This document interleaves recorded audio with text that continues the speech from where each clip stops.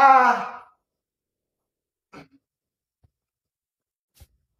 For those of you who don't know, that little tiny little thing right there, that's the rear fang of a false water cobra. So yes, even though it's not medically significant to humans, false water cobras are venomous. In Florida, it's actually required to have a venomous permit to keep them now. But even with the bad reaction, usually it's just localized swelling that you get. It's like when somebody gets stung by a bee. Sometimes, if you are allergic to them, you have a bad reaction. It's not good. But if you're not allergic to them, you barely even notice. It's it's a lot like that with snake venom. Here's one for you. You know what kind of snake did this?